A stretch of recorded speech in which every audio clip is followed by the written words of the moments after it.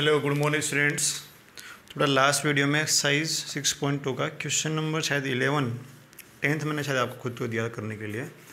Eleventh number जो question है, उसको करते हैं। अच्छा क्वेश्चन है और एग्ज़ाम में आने के ज़्यादा चांस रहते हैं। इसको स्टार लगा लीजिए। Question number eleven find the value of m and n if function f x equal to हमें एक फ़ंक्शन एफ़ एक्स गिवन है x square plus 3x plus n. If x less than equal to 1 and nx plus 2 if x greater than 1.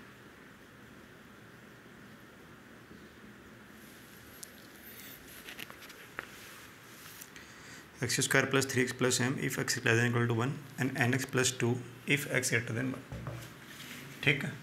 ये हमें function given है और लिखा हुआ is differentiable at every point ये जो फ़ंक्शन है, वो हर पॉइंट पे क्या है? डिफ्रेंसीबल है।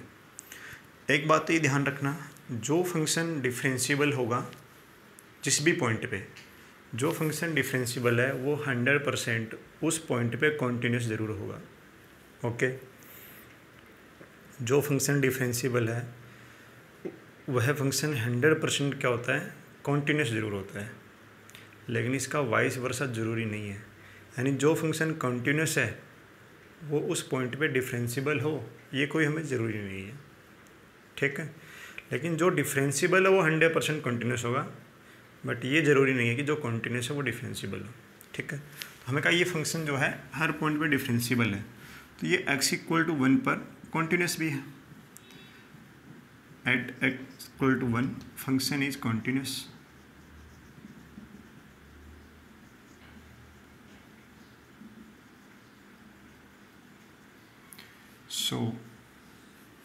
limit as x tends to 1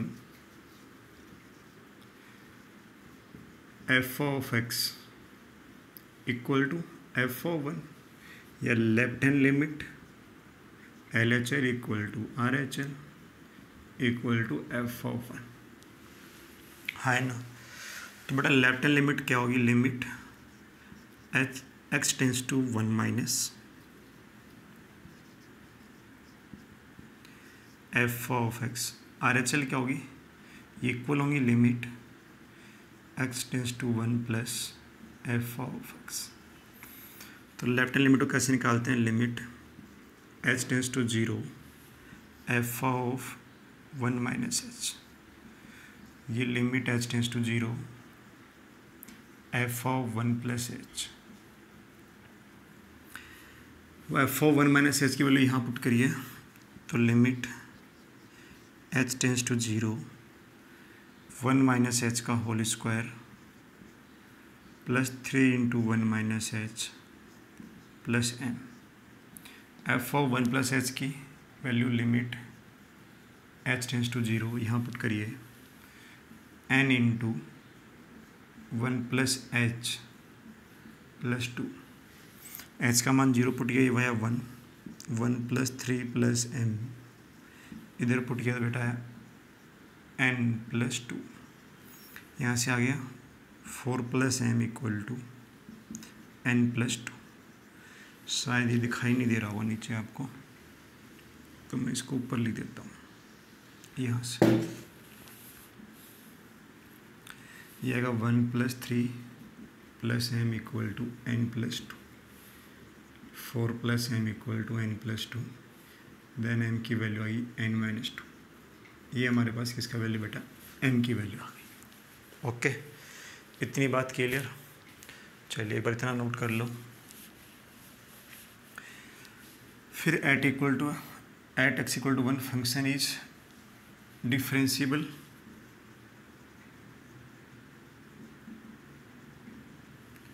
differentiable so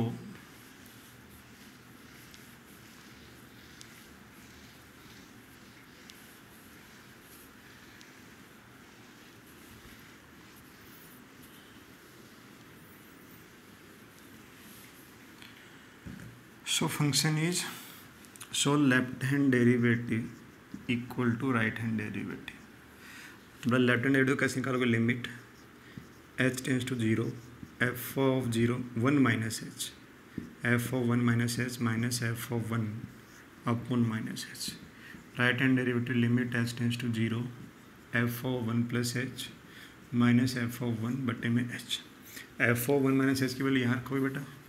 तो वन माइनस एच का whole square plus three into one minus H plus M minus F of one यहीं पुट करोगे तो आ जाएगा फोर प्लस एम बटे में माइनस एच ठीक है?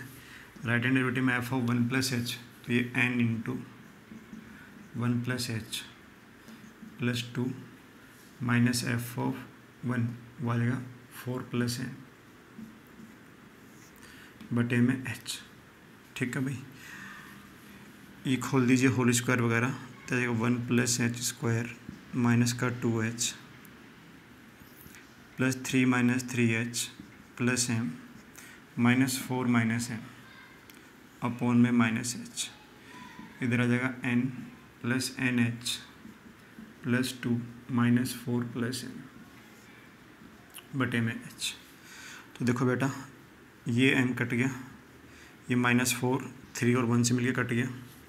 तो ऊपर बचा एच स्क्वायर माइनस का टू एच माइनस का three h divide by minus h इधर बचा आपके पास एन प्लस एन एच और एम माइनस टू बटे में एच है ना? अब देखिए बेटा एम की वैल्यू कितनी है? एन माइनस टू ध्यान रखना एम की वैल्यू कितनी है? एन माइनस टू है। इसको यहाँ पुट करेंगे हम। इतनी बातें आपको समझ में आई होंगी। अब एम का मान यह मैं एन की फॉर्म में पुट कर देता हूँ। देखो। राइट साइड में तो एच कॉमन आ गया। एच माइनस का फाइव एच फाइव आ जाएगा। ये माइनस के फाइव एच बन जाएँगे भाई। बटे में माइनस एच आ गया। अच्छा लिमिट विमिट लगी हुई है ना, ध्यान रखने से बात का भाई ये यहाँ भी limit h tends to zero और यहाँ भी limit h tends to zero लगा हुआ है ये ना।